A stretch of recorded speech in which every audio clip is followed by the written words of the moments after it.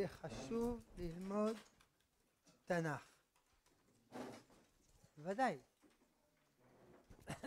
זה דבר השם, ישירות. תורה שבכתב. אם כי יש הבדל בין תורה, נביאים וכתובים. תורה זה ישירות מריבונו של עולם, מילה במילה. נביאים, השם אומר לנביאים, והנביאים אומרים בלשון שלהם. לכן אין שני נביאים מדברים בסגנון אחד, ואין סגנון אחד עולה לשני נביאים. וכתובים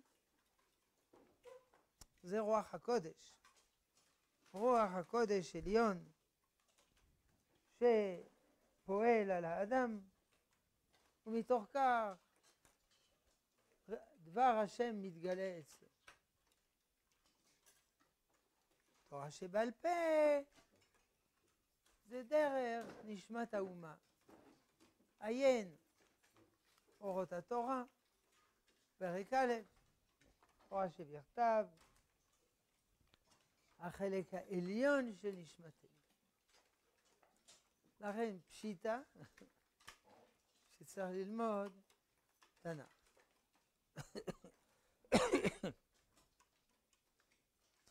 אה, בין חמש למקרא, בין עשר למשנה, בין חמש עשרה לתלמוד. אם כן, לפי זה, אפשר ללמוד מגיל חמש עד גיל עשר, ובגיל עשר מפסיקים. ובגיל עשר לומדים משנה גיל חמש עשרה, גיל חמש עשרה מפסיקים. ובגיל חמש עשרה לומדים גמרא. לא נכון. צריך ללמוד משנה גם בגיל חמש עשרה, וצריך ללמוד מקרא גם בגיל עשר, וכל החיים. אלא זה לומר לנו, עיינו לטריה, שמגיל חמש הילד הוא מוכשר ללמוד מקרא, אבל עוד לא מוכשר כל כך ללמוד משנה. ובגיל עשר הוא מוכשר ללמוד משנה, וכן הלאה. המקרא מרומם את האדם. ליראת שמיים עליונה נשגבה, סוחב כלפי מעלה. כל אישיותו, כל הרגש, כל הנשמה, אל ריבונו של עולם, ואל תשוקות נעלות ונשגבות. אחר כך יש משנה. זה לא מספיק תשוקות עליונות, צריך לקיים. אז המשנה אומרת, זה מותר, זה אסור, זה טוב, זה רע.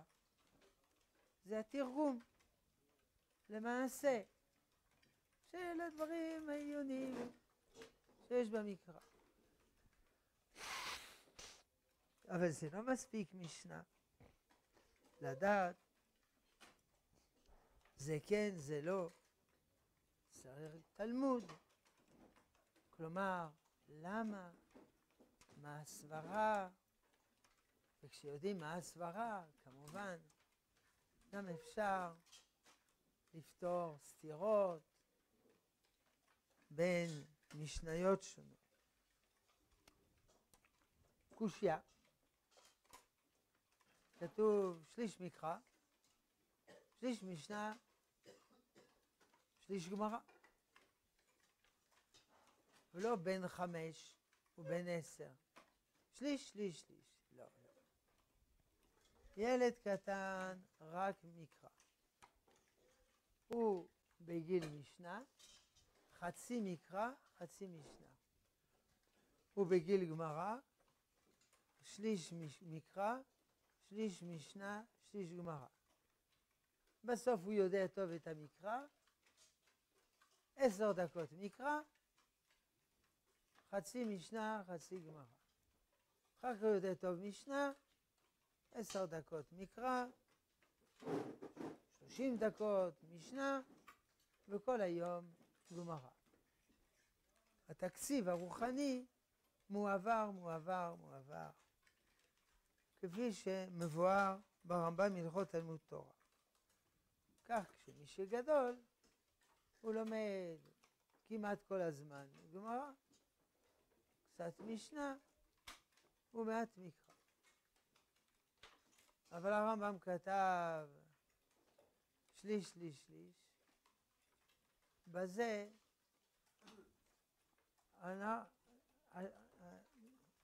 מכריעים כמו השח, שהכוונה שליש פרופורציונלי יחסי. כלומר, כדי לסיים כל שלושתם במקביל. אם כן, כיוון שהמקרא הוא מעט, המשנה יותר, הגמרא יותר, אם אני לומד, נגיד, עשר שעות מקרא, עשרים שעות משנה וכל היום גמרא, אני מתקדם במקביל. כך אומר השח, על פי הראשונים, וככה נוהגים. לא צריך שליש, שליש, שליש. רבינו תם אומר, אנחנו לא לומדים משנה, אה, אה, מקרא, כי המקרא נמצא בגמרא. אז כשלומדים גמרא, ממילא יודעים משנה, יודעים מקרא. קושיה על רבינו תם, אבל לא כל הפסוקים מופיעים בגמרא. אז מה עם הפסוקים האלה? וגם הרבה פסוקים שמופיעים בבודדת, אתה לא יודע מה זה. ויעש לו צדקיה בן כנענה קרני ברזל. אתה יודע בשביל מה? כן, ללמד שקרן קדושה זה קרן. זה לא קרן, כן, כן, כן, בכל זאת היה בן אדם, צדקיה בן כנענה, הוא עשה לו קרני ברזל, והוא לא עשה את זה כדי ללמד אותנו בבא קמא וכולו. זה קושיה ב' על רבנו תם. אין כל הפסוקים, וגם כל הפסוקים, בלי ההקשר, אני לא יודע מה זה. תירוץ רבנו תם. זה מדובר על אדם שלמד כל המקרא הרבה הרבה הרבה הרבה. ואז, כשיש פסוק במקרא, אה, מיד הוא משחזר בראש את כל הפרק. אבל, כי אחרת איך אפשר רק על פי זה.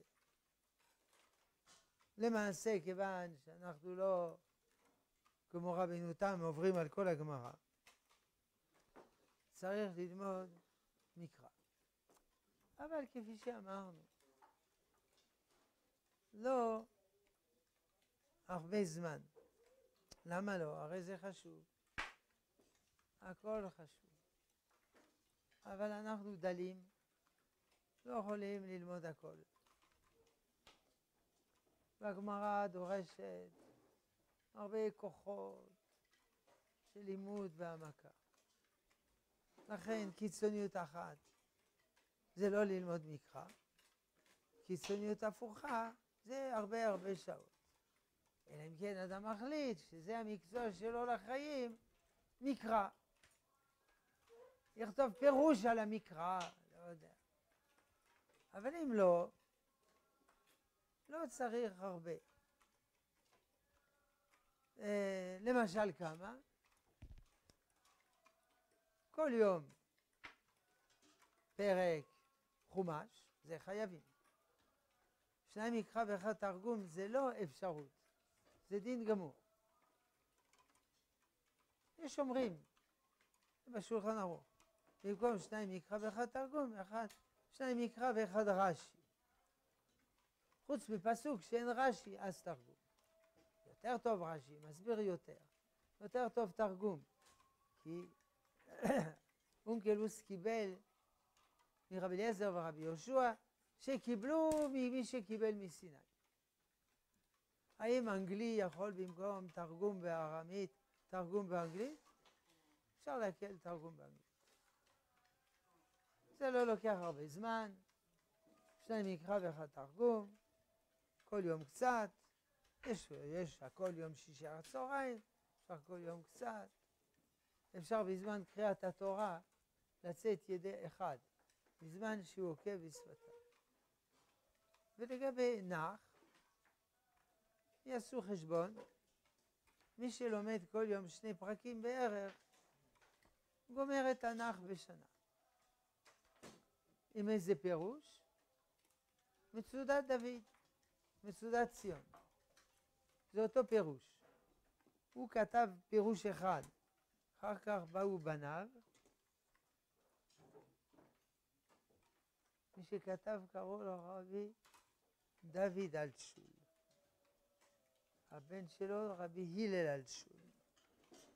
והפריד לחוד כדי להקל עוד יותר מצודת דוד המובן, מצודת ציון המילים.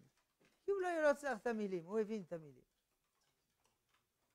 הפירוש הזה מקובץ מרש"י מהרבה הרבה ראשונים.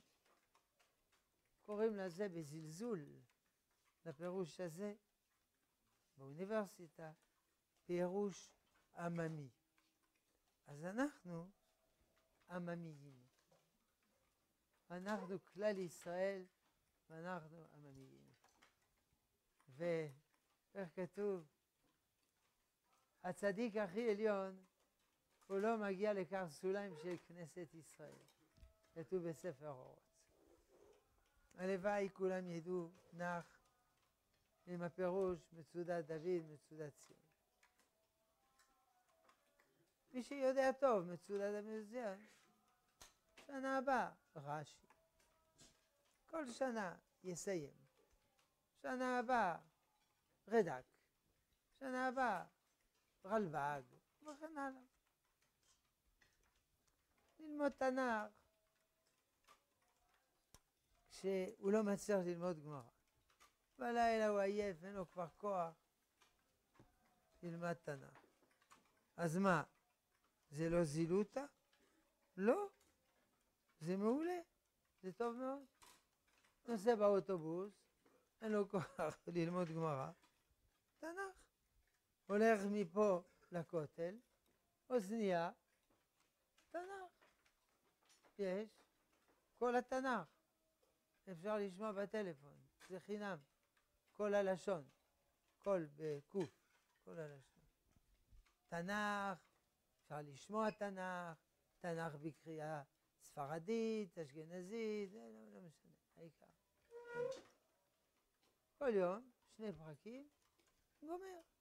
כל שנה, גומר נח. עשר דקות ביום, לא, לא ככה לימד רמנו הרב צודה.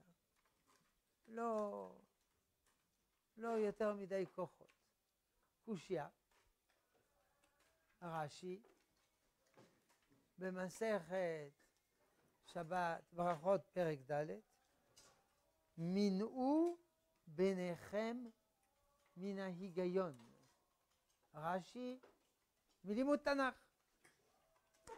היגיון זה לא במובן היגיון אה, לוגיקה, היגיון במובן הגות. הגיון ליבי לפניך השם צורי וגולי. רש"י אמר, פירש את הגמרא, מינו ביניכם מן ההיגיון.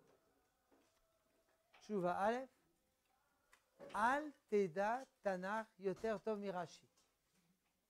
כי אם רש"י אמר לא ללמוד תנ"ך, אבל הוא כן למד, הוא העובדה שכתב פירוש, אז, אז, אז זה בסדר.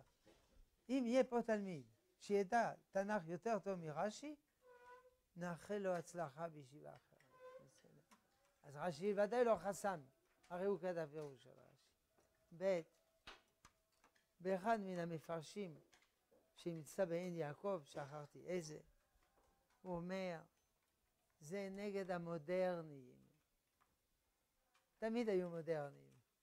הקראים, הצדוקים, והיתוסים. שהם לומדים תנ"ך בלי, בלי תורה שבעל פה. זה ההיגיון, זה ההגות, הגות אישית. זה ודאי קטסטרופה. צריך ללמוד תורה שבכתב, תורה, אה, נביאים כתובים, מתוך תורה שבעל פה. אחרת בוודאי זה מביא חורבן. אפילו דיברנו על זה יום חמישי בלילה. אומר ראובן, חטא אינו אלא טועה. הוא טועה לגמרי, הוא עושה טעות חייו. אבל אם הוא לומד עם התורה שבעל פה, זה בסדר. אז הוא לומד עם רש"י. רש"י זה תורה שבעל פה. מצודת דוד זה תורה שבעל פה. אז קראו למחבר מצודת דוד. הבן שלו, רבי הלל על שמו. אז זה, זה הדבר השני. פעם בא אחד אומר, אני יכול ללמוד בישיבה? בבקשה. אבל אני לומד רק תנ"ך כל היום. תלמד רק תנ"ך כל היום. אבל אני לומד בלי פירושים. זה מטעה. אני לומד מתוך הגות עצמית. אמרתי, אני לא יודע ללמוד מתוך הגות עצמית. הסתכל עליי בזלזול ולא בא ללמוד. שיהיה בריא. ודאי, אתה לא יכול להבין. כן. לימוד תנ"ך זה גם לימוד אמונה. ודאי. לימוד חומש, חלק זה הלכה, חלק זה אמונה. תנ"ך זה לימוד אמונה. לימוד מוסר, לימוד אמונה, נכון. כי אין, אין כמעט הלכות בתנ"ך.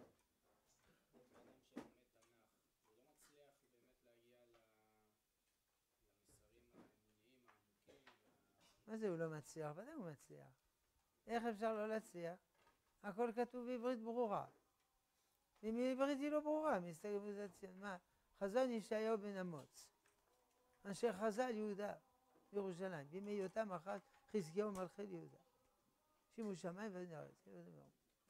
בנים גידלתי בחומם. בלבלתי לשם. ידע שוך גונב, וחם אור אבוס ועליו, ישראל לא יודע, מי לא יתבונן. מה אתה לא מבין? רוצה לומר שאתה לא מבין תנ"ך כמו שהבין רבי יהודה הנשיא. אני מקווה.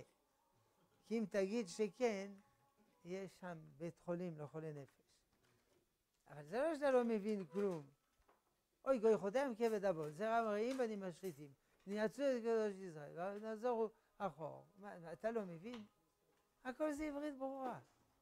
הנביאים, היה להם כישרון אלוקי לומר דברים עמוקים מאוד בעברית מובנת לחלוטין. מה שלא מובן לנו זה בגלל שהשפה השתנתה. לפעמים יש שם מילים, לא יודע מה הוא רוצה. יש פסקה, באורות הקודש כרך א'. האינטליג... האינטליגנציה וההמון. מי שווה יותר? פנים לכאן ולכאן. דברים פשוטים, יסודיים, ההמון מבין יותר טוב מהאינטליגנציה. האינטליגנציה מסתבכת בפלפולים, איך הוא אומר, אגמי שחר וזה וזה. ההמון מבין פשוט, קצר ולעניין. אבל דברים מסובכים ומורכבים, ההמון לא מוצא ידיו ורגליו. אז באה אינטליגנציה ויודעת לפלס. אותו דבר תלמידי חכמים, עם הארץ. מי מבין יותר טוב? תלוי. דברים פשוטים, עם הארץ. קצר ולעניין מבין. תלמיד חכם, מסתבר, שואל אותי שאלה עד שאני מבין מה שהוא שואל אותי. הוא מסתבך בתוך עצמו, די כמעט שואל. עם הארץ. ברוך השם, בזה ארבע מילים, אבל בדברים מורכבים, עם הארץ הוא בערפל קרב. תמיד חכם, הכל ברור. אם כן, התלבטות. מה עדיף להיות? תלמיד חכם או עם? הוא אומר, נביא. נביא הוא תלמיד חכם שיודע לדבר בשפה שעם הארץ מבין. זהו. להיות תלמיד חכם עם הארץ. לא, לא עם הארץ. שיודע לדבר בשפת עם הארץ. הנביאים הכל עברית ברורה לחלוטין. אלא אתה אומר, יש דרגות בהעמקה. בוודאי יש דרגות בהעמקה. גם במשנה, גם בגמרא, גם בסרט, גם בסידור. אז מה? כל אחד כפי כוחו.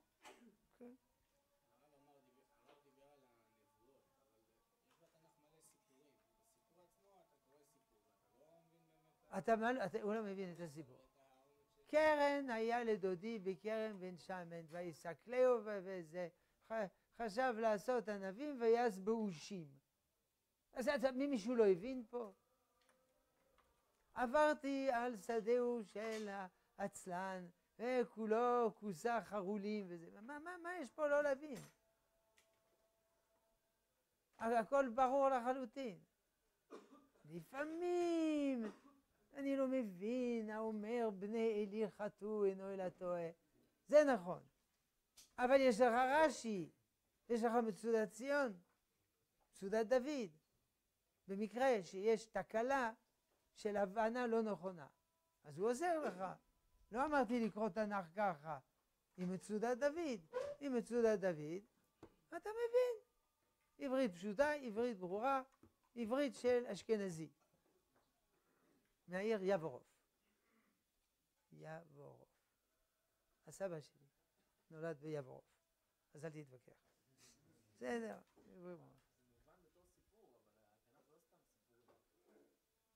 אבל אם הנביא אמר את הסיפור וחשב עץ יבין, אז אתה לא מבין? אז אם כן, יש לך קושי לנביאים.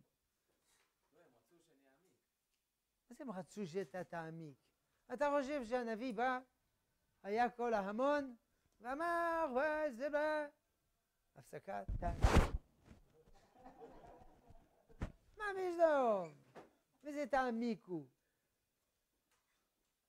הוא דיבר קצר ולעניין, והבינו. אלא זה נכון שאפשר להעמיק עד אינסוף, אבל הבינו מה שהוא אומר. מה זה להעמיק? ודאי אפשר להעמיק, אבל גם בלי העמקה זה מאוד עמוק. גם בלי העמקה. הם אמרו, הם הלבישו דברים עמוקים במילים פשוטות. הכל עמוק. לא תרצח. צריך להעמיק. למה צריך להעמיק? אתה לא מבין עברית? לא תרצח. רגע, תן לי, זה לקח כמה שנים. ובינתיים, בינתיים אני רוצח, כי לא העמקתי. אני אסדר לך מקום עמוק, בית הסוהר, כזה, בתחתית, זה יהיה עמוק, תוכל להעמיק. מה, אתה לא מבין מה זה לא תרצח? לא, אני צריך להעמיק. מה זה משנה? העיקר זה נשמה. אז זה נשמה בלי גוף, ואדרבה, זה מעלה וזה מעלה. בסדר, נסדר לך גם נשמה בלי גוף וזה מעלה. אז גם זה מובן.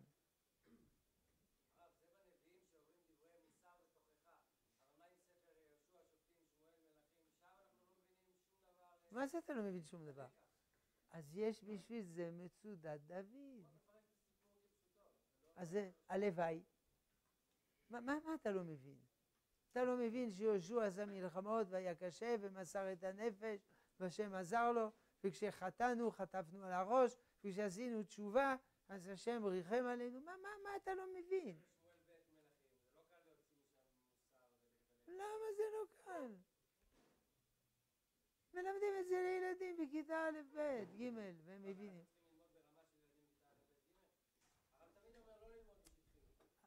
אז בשביל זה יש שם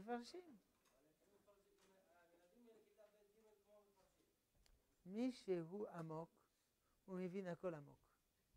מישהו... עשר דקות ביום, רבע שעה, עשרים דקות, דקות של החזון איש.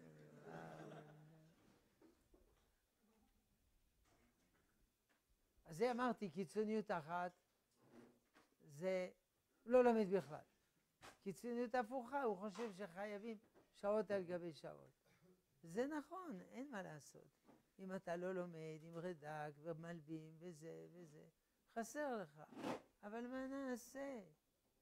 יש גם משנה, יש גם גמרא, יש הרבה. אי אפשר לעשות הכל. נכון. אז יש לזה איכות נוראה, אבל לא כמות. זה לא תמיד הולך יחד, כמות ואיכות. כמובן שיש לזה איכות נוראה, מספיק קצת. זה כדי לרומם. אפשר לקבל סידור על התריה חלק ב'. זה לרומם את האדם לעניינים נשגבים ועליונים.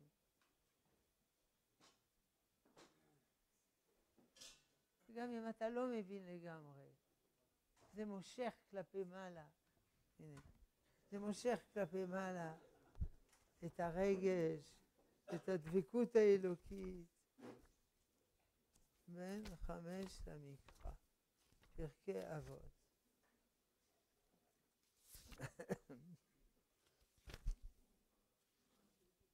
עמוד קפ"א כל הפעולות והמחשבות הרבות שבמהלך גידול חיי אדם, בפנותם כולם לתכליתן המיוחדת, צריך להיות להם מקום יסודי וכו'. עכשיו,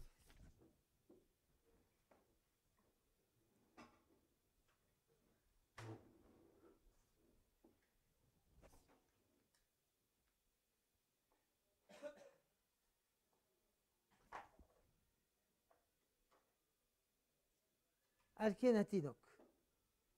מבין חמש עד עשר מוכן הוא בשכלו הרך בתחילת התפתחותו להרגיש את יופיים וזיוום של פשטי המקראות בסיפוריהם ומליצותיהם ורעיונות מוסרם המרהיבים לב ונפש גם בחיצוניותם וביושר ענייניהם, בטבעיות המידות, ונפלאות השם וחסדיו, ולהכיר להם ערך של תכלית. אבל עודנו רחוק, משנה, הלכה למעשה. אז אדם הוא לומד תנ"ך, אפילו באופן חיצוני. זה פה, אפילו, הפשטים, זה הוא מרגיש את היופי ואת הזיו ומרהיב את הלב, ויושר, ענייניהם, מידות, נפלאות, להכיר ערך תכלית וכו'. אם הוא מעמיק, ודאי, כל המרבה הרי זה משובח. אלא פה אנחנו מגיעים לשאלה הכבדה שנקראת בעיית המשאבים המוגבלים. שאי אפשר לרקוד בכל החתונות, ואי אפשר לעשות כל המצוות. ואז אני צריך להכריע. אז יש כללי הכרעה. למה יותר משנה? למה זה יותר חשוב? למה יותר זה? פעם הרב ציודה הקריא סיפורים על הרב קוק, שעה שלמה. זה נמצא בשיחות הרב ציודה, כותרת מרן הרב ז"ל, שעה שלמה. היה שם רב כזה, כמעט נגמרה לו הנשימה. הוא אמר, את הסיפורים האלה, צריך, זה פשע שאתם לא מפרסמים, הסיפורים האלה יחזירו בתשובה את כל השומר הצעיר. אמר לו הרב ציודה, צריך ללמוד שולחן ערוך. לא, לא, לא, הוא לא נגד סיפורים. עובדה סיפר סיפורים. אז יש בחוברת הרת, אחר כך יצא ספר קטן חדריו. חלק גדול זה מהסיפורים האלה ועוד סיפורים. בסדר. אז יש הכרעה של ללמוד משנה או שולחן ערוך, זה אותו עיקרון. זה יותר חשוב מהסיפורים. כי זה אומר לך מה לעשות למעשה. צריך לדעת מה לעשות למעשה. ולא כמו שאנשים מדברים בדור שלנו, מתלהבים, מתלהבים, בעיקרון. הרב, בעיקרון אשתי ילדה. ילדה באמת או בעיקרון? באמת, בעיקרון, כאילו היא ילדה. אז הוא אמר, שולחן ערוך זה יותר חשוב. זה לא... גם קצת סיפורים. אז לכן זה תורת המשאבים המוגבלים. זה כמובן לא עכשיו אנחנו נדון למה הייתה הכרעה שזה יותר חשוב מזה, אבל יש הכרעה.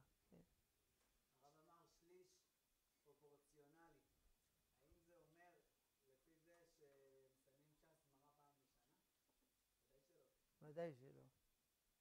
אז אם כן, אדרבה. אם זה יהיה פרופורציונלי, תלמד כל יום פסוק אחד או משהו כזה. נכון. ולא לא פרופורציונלית, אה, מתמטית, אלא כפי הרוחב הזה. לא, אפשר לדלג. יש גם שיטות שונות לפעמים לגבי סדר הספרים. אבל אם אין שום סיבה, זה לפי הסדר. אבל עכשיו זה פורים וזה מגילת אסתר, זה מגילת אסתר. זה לא קריטי, כן.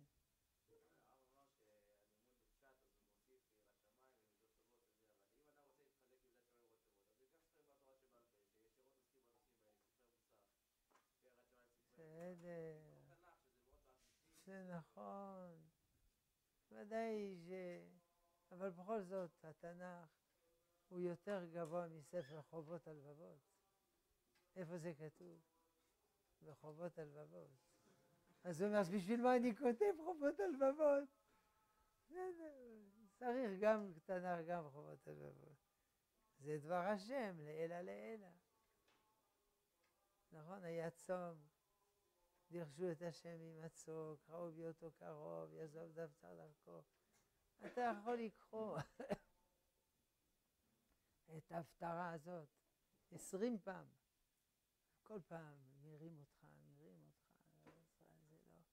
אתה מתעלף כשאתה קורא את זה. מתעלף בקדושה. טוב, שאלה אחרונה.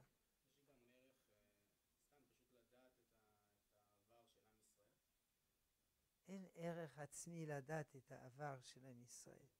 יש ערך לדעת איך השם פועל בעם ישראל. אבל היסטוריה של עובדות זה לא חשוב. זה נקרא לפעמים אודות. על אודות בנו תולדות. תולדות נולד משהו. אודות זה מה שקרה. הרב קוק קורא לזה באיגרת עמל תאריכי. קרה, קרה, קרה. מה? בתנ"ך לא מספרים כל מה שקרה. אליהו, אליהו הנביא, מי אבא שלו? מי אמא שלו? מי, מה, מי, מה, איזה ישיבה הוא למד? זה לא מעניין אותנו. אבל זה מעניין, רעיון עיתונאי, וזה... באיזה גיל יחליפו לך חיתול? יונה בן אמיתי, מי הוא? מה הוא? מה זה? חז"ל אומרים, זה התינוק שהחיה. בסדר. ואם לא ידענו שזה התינוק. לא, זה לא...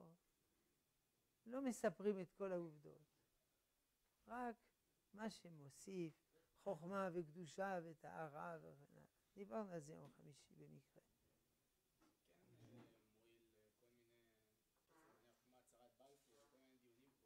ללמוד הצהרת בלפור זה לא מועיל כלום, אלא אם כן אתה לומד איך השם פעל בהצהרת בלפור. אם לא, מה אכפת לי הצהרת בלפור?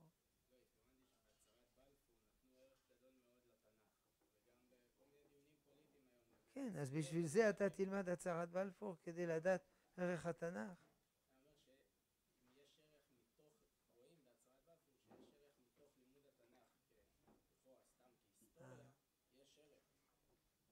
לגויים, שיהיו בריאים. אנחנו לא נלמד תנ"ך בשביל להשיג הצהרת בלפור. ובשביל הצהרת בלפור לא צריך ללמוד תנ"ך. מספיק לומר בלפור, התנ"ך מלא, אומר שארץ ישראל שלנו, נקודה. בשביל זה לא צריך ללמוד תנ"ך. זה כל אחד יודע. בשביל זה, איפה זה כתוב בתנ"ך? איפה זה כתוב? מאות פסוקים. כל אחד, כל אחד מבין שבתנ"ך, זה, ארץ ישראל, עם ישראל, נגמר, מה? בשביל זה צריך לתת חוג תנ"ך לבלפור כל ערב? למה הוא היה אדם דתי, הוא ידע תנ"ך. אם הוא היה סיני וזה, תנ"ך, הוא לא יודע מה זה תנ"ך. הוא היה אדם דתי ומאמין בלפור. מאמין בשטויות גם. טוב, עד כאן בלפור. ואחר כך ממילא הבריטים שיקרו. ורימו ולא רצו וצפצפו על הצהרת בלפור ועשו לנו צרות צרורות עד שעזבו פה, ברוך שפטרנו מעונשם של אלה. זהו.